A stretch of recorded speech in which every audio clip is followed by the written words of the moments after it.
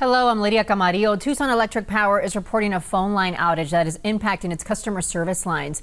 The utility said their phone outage is caused by a large telecom provider outage. For now, customers who need to reach the company are asked to email. We have all the information on KGUN9.com.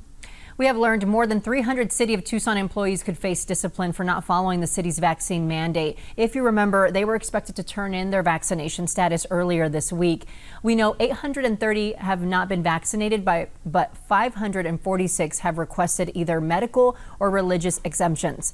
The city tells us that leaves 354 employees who have not submitted their vaccine information or an exemption.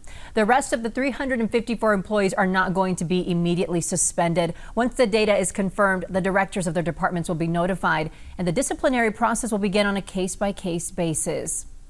Banner hospitals say right now 25% of their patients have COVID 19. Other beds are filled with those who delayed procedures at the start of the pandemic.